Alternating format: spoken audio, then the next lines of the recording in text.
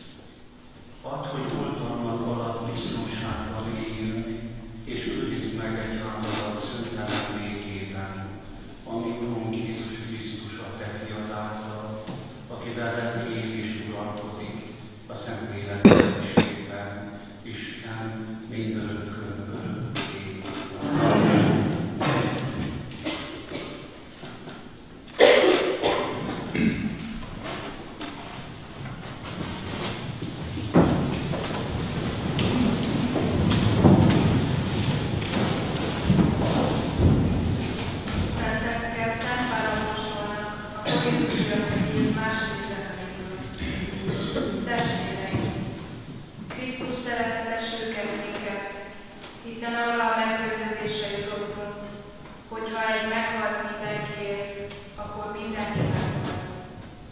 És ő azért halt meg,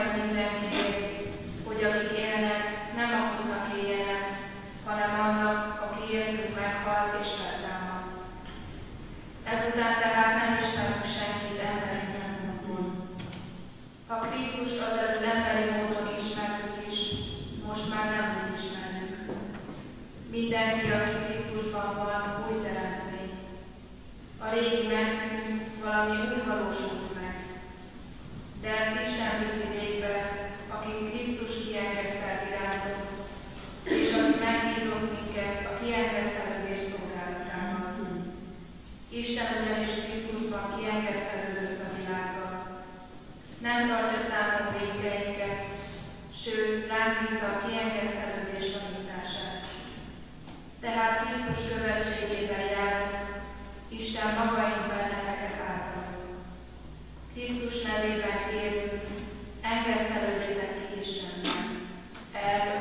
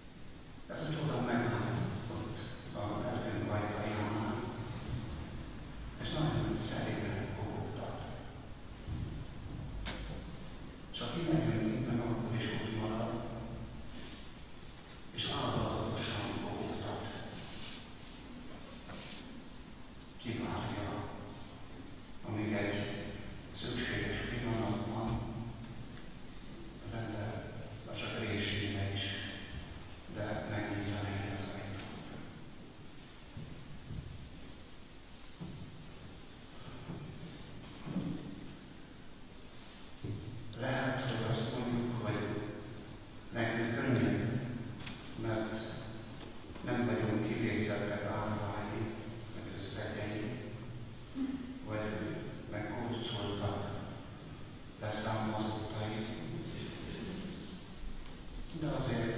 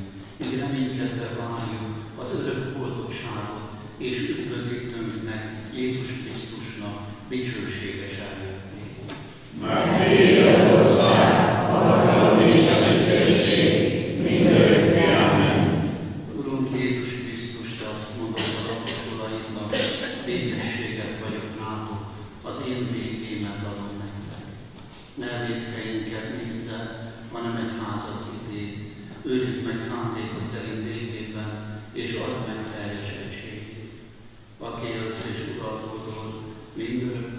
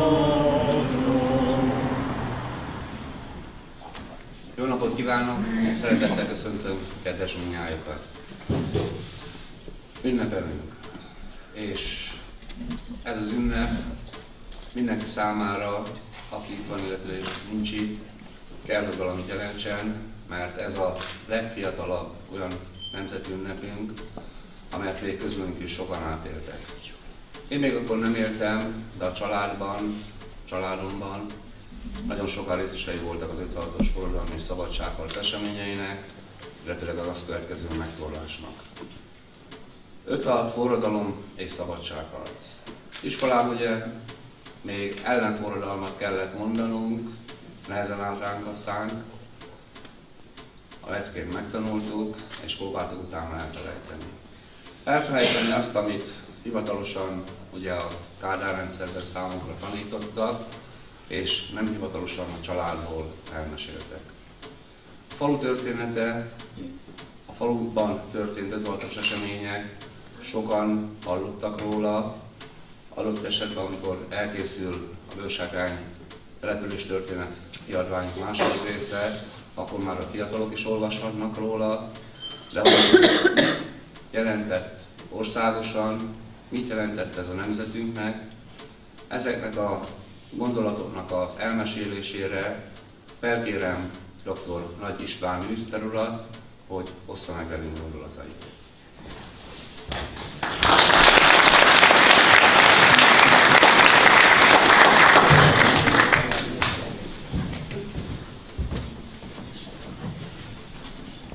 Kedves főtisztán úr, tisztelt polgármester úr, kedves emlékező bősárkányi közösség. Aki elveszíti az emlékeit, az elveszíti tájékozódási képességét. Az emlékezet minden társadalmi fejlődés feltétele, ez az alapja a helyes önbecsülésnek. Csak az emlékezet segít ébren tartani bennünk azt az alapvető kérdést, hogy honnan jöttünk és hová tartunk.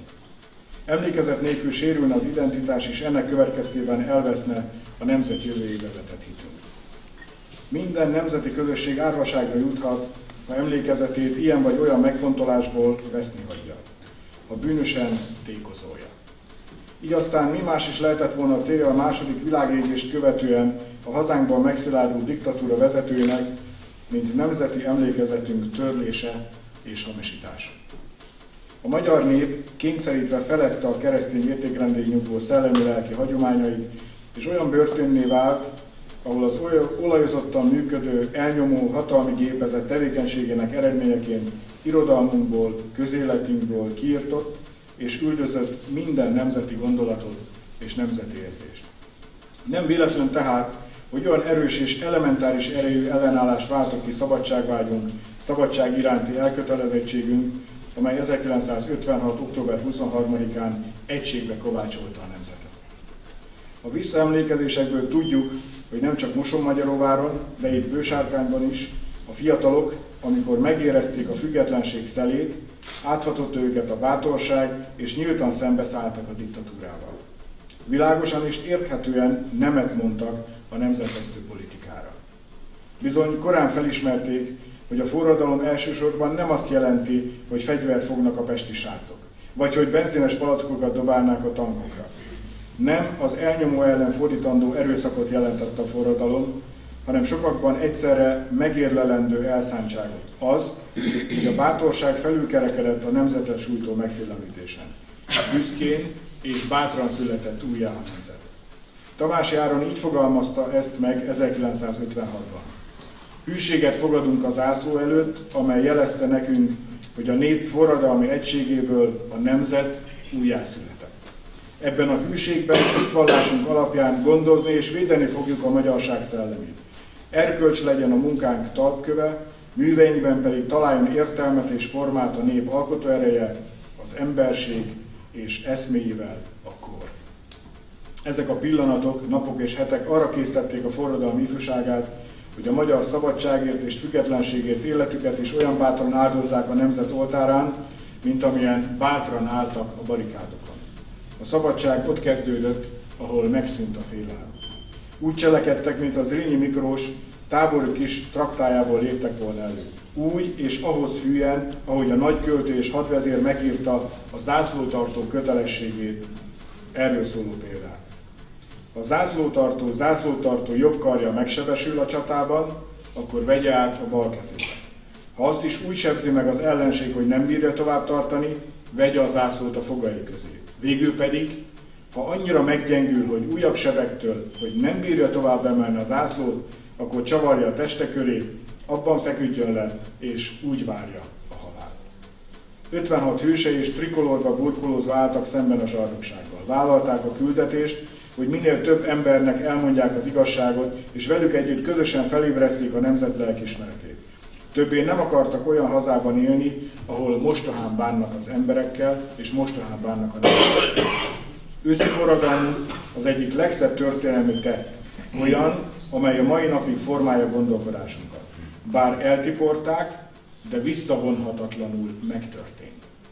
Akkor is győzött, ha leverték, ha vérbe folytották, ha megtiporták és megalázták az emlékét. Igen, győzelmet aratott, mert visszaadta a második világháborúban megnyomorított erkölcsi értékeit vesztett világnak a szabadságba és a nemzeti méltóságba vetett hitét. Dallas amerikai diplomata így fogalmazott a Dallasi világpolitikai tanács előtt a magyar forradalom és az első évfordulóján. A hősi magyar nép a vörös hadsereg páncélosainak halátosztó tüzével szállt szemben. Ezek a hazafiak magánál az életén is többre becsülik a szabadságot. És minden, a szabadságot békében élvező ember ünnepélyes kötelessége, hogy minden igazán hasznos eszközt megragadjon, hogy ne hiába halljanak meg a szabadságért életüket feláldozók. Az októberi fényes napokat, ahogy a forradalom áldozatainak emléket állító költő írja, árulás és tragédia. Ennek leleplezését épp a forradalom tisztasága követelte meg tőlünk az utókortól. Még most is, több mint 60 éve ez az erkölcsi parancs vezeti költőinket, íróinkat és a társadalmunkért felelősen gondolkodókat, akik szakrális, monumentális igényel idézik meg forradalmunk ismert és máig névtelen hőseit.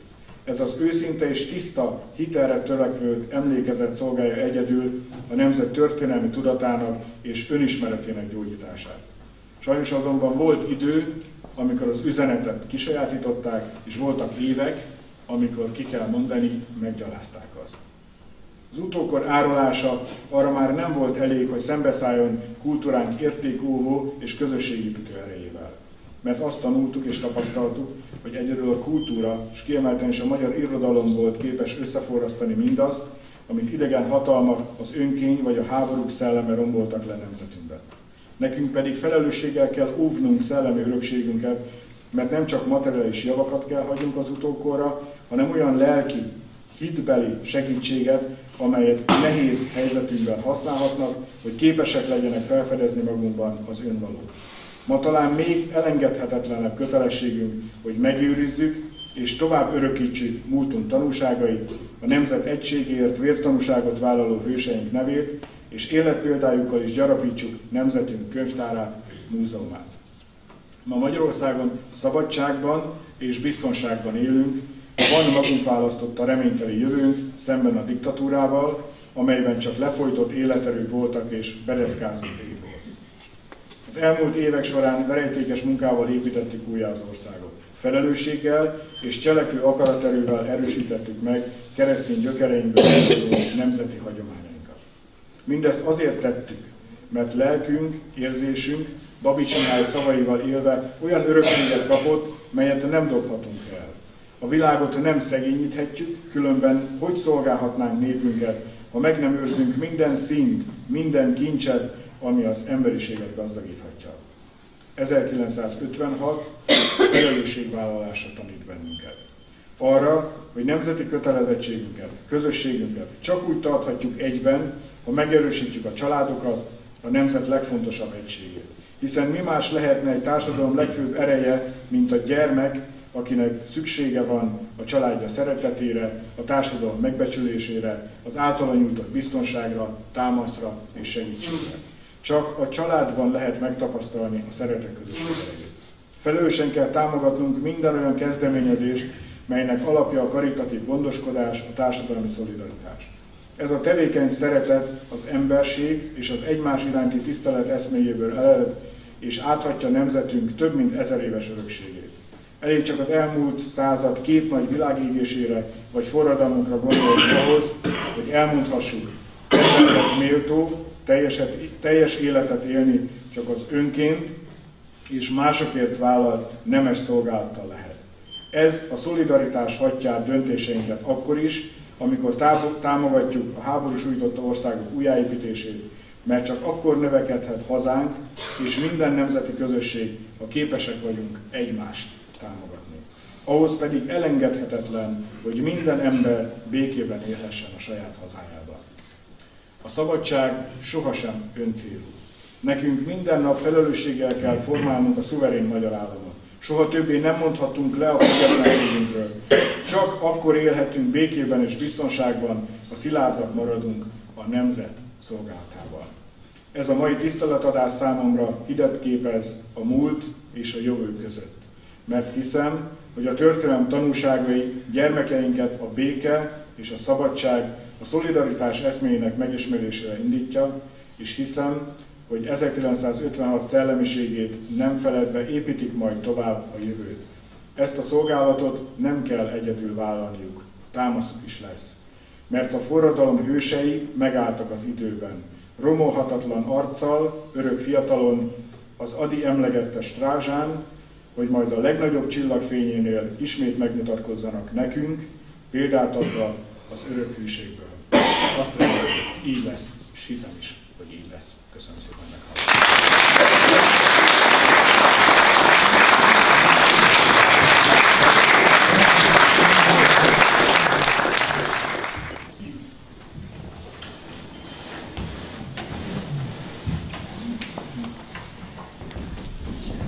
Kérem tekintsék meg lehullott három falevél című ünnepi előadásunkat.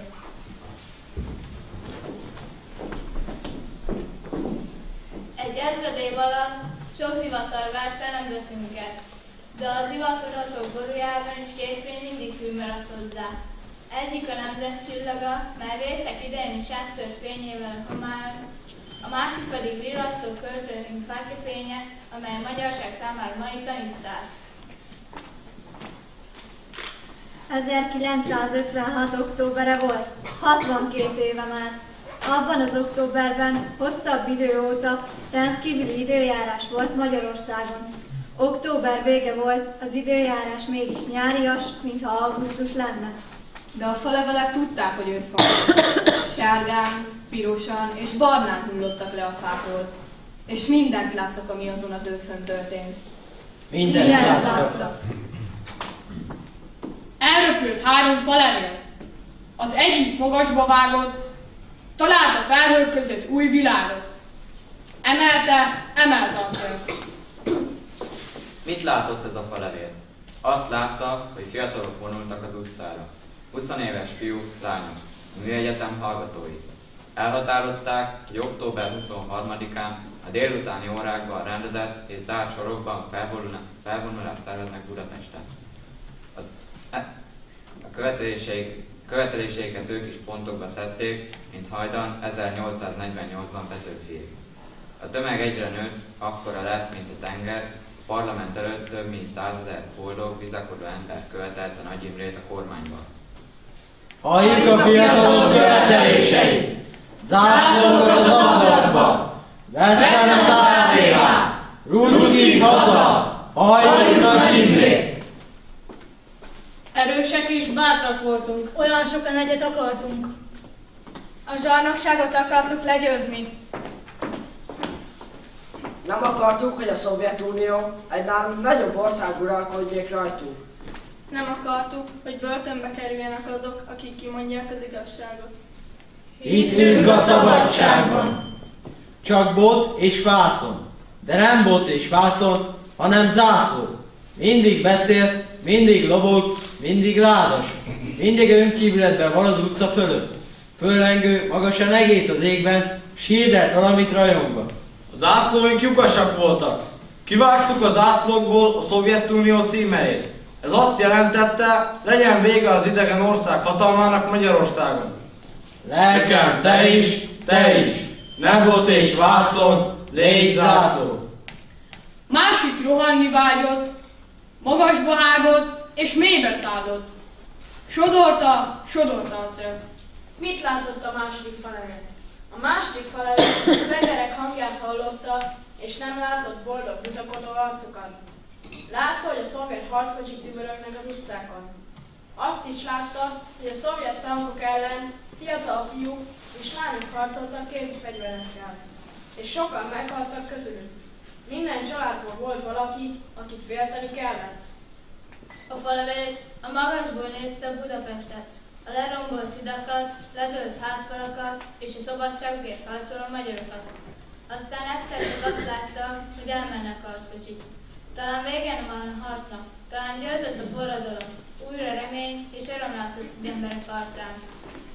Csak akkor születtek nagy dolgok, ha bátrak voltak, akik mertek, és ha százszor tudtak bátrak lenni, százszor bátrak és viharvertek. Az első emberi bátorság államség, a tűz csiholója, aki az ismeretlen lángra úgy nézett, mint jogosodóra, mint egy Isten, hóban vacogva fogadta szent munkája bérét, még ma is minden bátor ember csörgedezteti az ő vérét.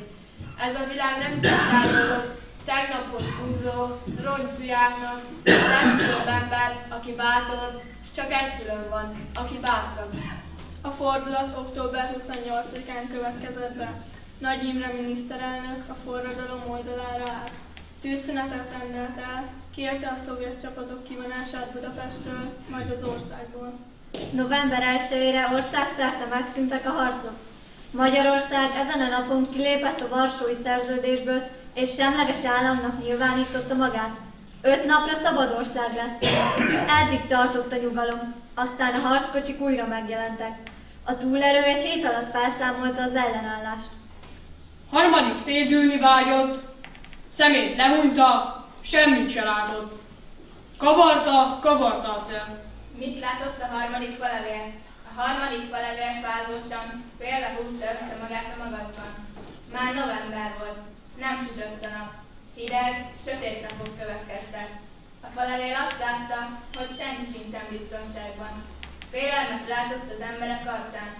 Látta, hogy a magyarok harcolnak még a szabadságukért, de a szovjet harcocsik erősebbek. És látta, hogy sokan a pincébe bújnak, sokan megsebesülnek és meghalnak. A harcolók sehonnan nem kapnak segítséget. A szabadságharc elbukott.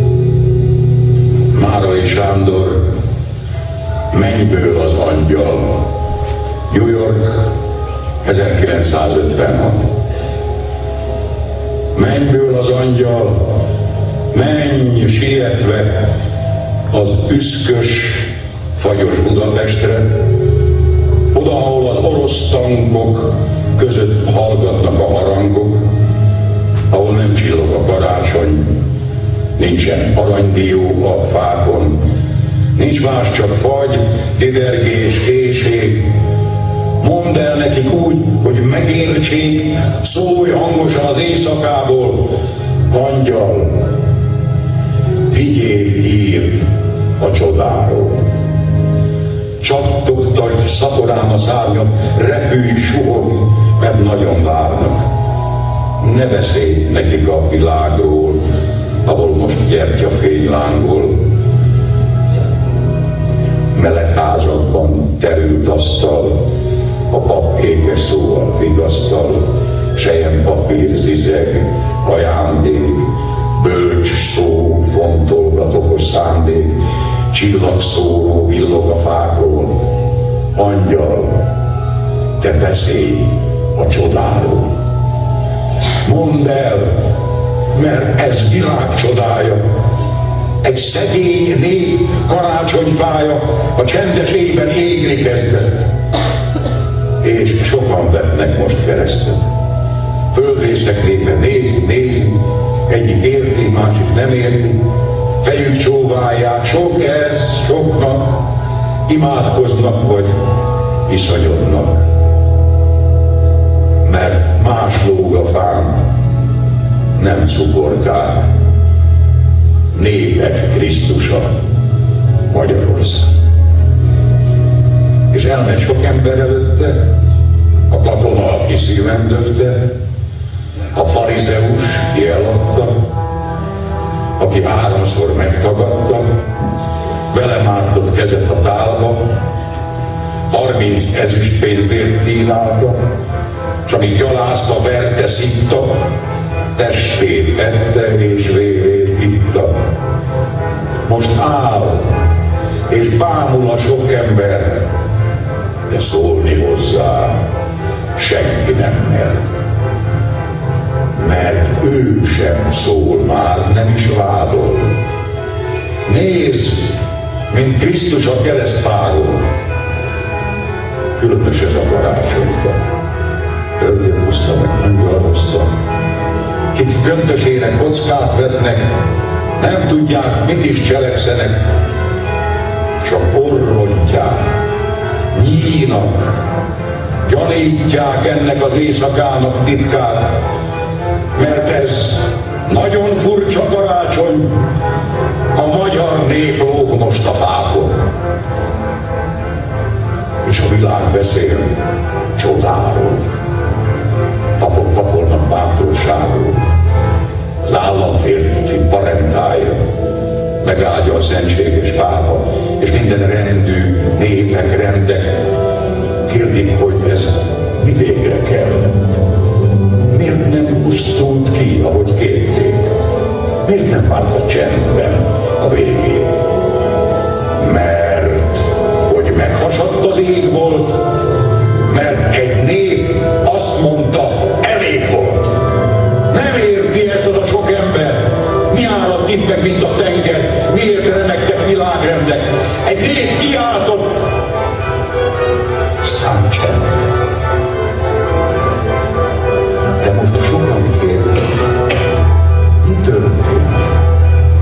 Kitették csontból, húsból törvényt. És kérdik, egyre többen kérdik, hebegve, mert végképp nem értik, ők, akik örökségbe kapták. Ilyen nagy dolog a szabadság. Angyal, vidd meg a hírt az égből.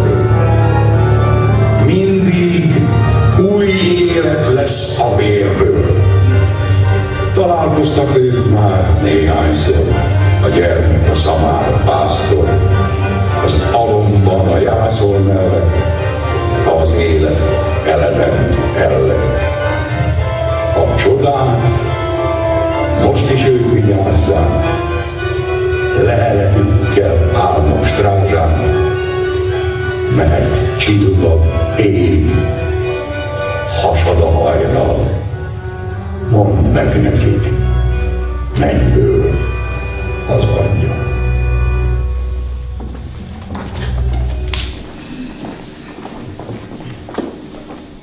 És a falevél látta, hogy sok ember börtönbe zártak. A 301-es parcellában nyugszanak azok, akik az esztelen és embertelen megtolás áldozatai lettek. Látta azt is, hogy sokan vonatra szálltak. Ezek az emberek örökre elhagyták a hazájukat, mert Magyarországon nem voltak biztonságban. Halálbüntetés és börtön várt volna rájuk, ha itt maradtak volna. Hát eljöttem hozzátok. Nézzétek, gyertyát is hoztam, virágot is. Meggyújtottam a gyertyát, lehunyom a szememet, aztán sírok. Nem szégyellem, csak állok és sírok. Csak Budapesten fegyveres események következtében 2200 fő halt meg véletlenül vagy harc közben. Gyerekek, fiatalok, felnőttek, számunkra ismeretlenek. De azoknak, akik ismerték és szerették őket, haláluk pótoltatlan veszteség volt.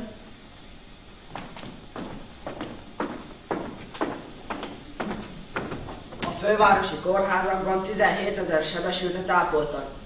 56-os tevékenysége miatt 229 embert végeztek ki, és több mint 200 ezer ember hagyta el az országot.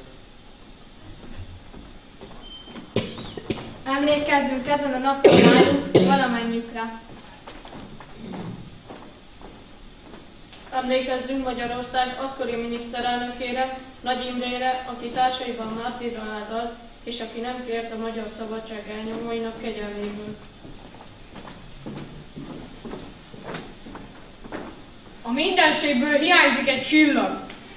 A mindenségből hiányzik valami. A világból hiányzik a mi világunk. A világból hiányzik valami. Az égboltról hiányzik egy sugár. Felőlünk hiányzik valami. A föld alól hiányzik egy talpallatni föld. Talpunk alól hiányzik valami. Azután újra kezdődött a hétköznapi élet az országban. Újra kezdődött a tanítás, de ez az újrakezdés sok fájdalommal járt. Újra kell kezdeni mindent. Minden szót újra kimondani. Újra kezdeni minden művet és minden életet. Kezünket mindenkinek oda nyújtani. Újra kezdeni mindent a világon, megteremteni, ami nincs sehol. De itt van mindnyájunkban mégis, belőlünk sürgetve dalod, újra hinni, hogy eljön valami, valamikor, valahol.